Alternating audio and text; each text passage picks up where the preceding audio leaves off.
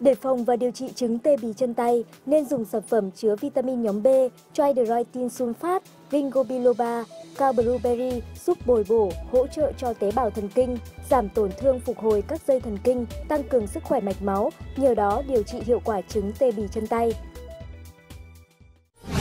Vitamin Plus tăng cường lưu thông máu và bảo vệ hệ thần kinh, hiệu quả cho người bị tê bì chân tay, đau dây thần kinh, đau mỏi vai gáy.